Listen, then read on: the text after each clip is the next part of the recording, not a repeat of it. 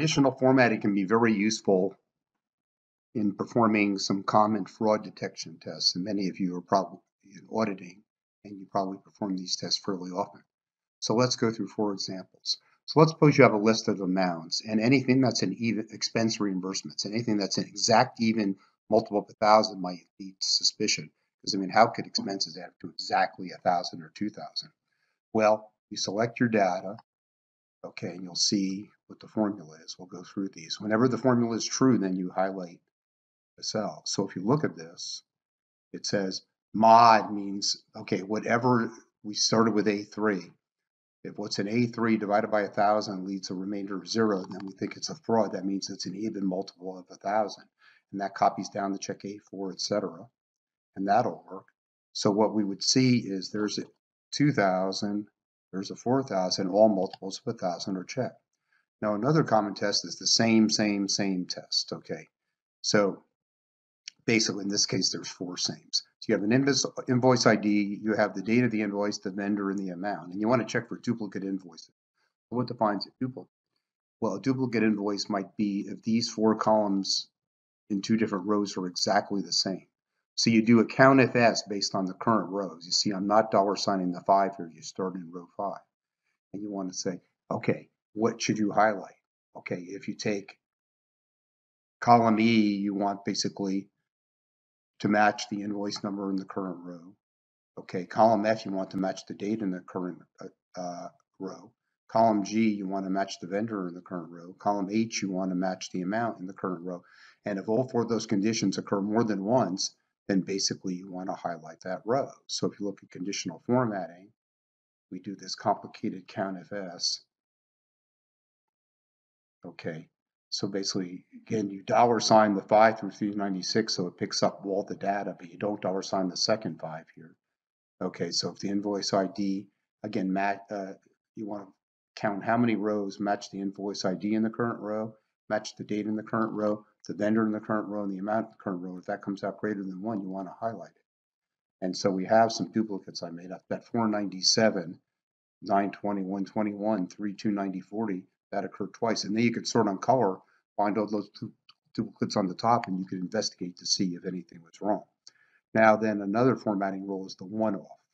Okay, so uh, basically you might say all payments that are greater than equal to a thousand, five thousand dollars. That's a big payment, and to a vendor you don't do much business with, the less than equal to three payments might be a fraud. So then you need an and statement. So if you look at that, you'd say count if in column E, okay, does it match uh, the then you want every row that matches the vendor in the current row going down the whole column. And you basically want to make sure is the payment amount greater than equal to 5,000. Now here the vendor frequency, and so that comes out greater than equal to three, which is our cutoff here, and the 5,000, we can change those. Then we want to highlight every row where basically there were less than the vendor in that row occurred less than or equal to three times and the payment amount was at least 5,000. And so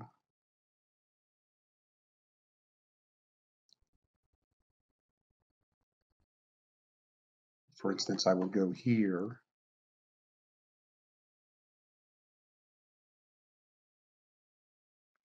let's say 22. Okay, so vendor 22 basically occurred only once because I just don't have many vendors here with that, nobody with that number. And vendor, oh, vendor 12. Okay, that occurred. Vendor 13. Okay, those people occurred only once. And you can see those are all highlighted. Payment dates. So you've got an invoice number, you have the date the invoice was submitted, the date it was paid, and then was it a weekend? and we've got the code here, okay, by using 16 here for the code, a one or a two would mean it's a weekend, Saturday or Sunday. Okay, I set up the code for that. Okay, so basically the day of the week, this is a weekend, this is not a weekend. A one or a two in column G means it's a weekend. So basically you may want to highlight basically the three types of date relationships that might lead you to think there's a fraud. Okay, if you paid the invoice before the invoice date, that would be suspicious. If you paid it on the same day, it'd be suspicious. And if you paid it on the weekend when nobody's working, that would be suspicious. So basically, we just have three rules here. So the first rule, and you have to dollar sign the column, okay, F and E, because you want this to highlight the all four columns. So if you don't dollar sign the column, it's not going to work, but you don't dollar sign the row. So if column F, which is the payment date, is before the invoice date, you want it to be yellow. So we've got all those rules there. Okay, and if column F equals column E, you want it to be orange. And I said stop at true so you don't go on. Okay, and if the weekend column is less than equal to 2, you want that highlighted in blue. So there's four really cool examples of how you can use conditional formatting to sort of operationalize some common fraud detection tests.